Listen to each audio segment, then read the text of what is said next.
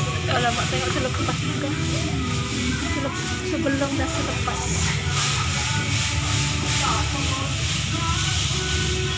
Thank you.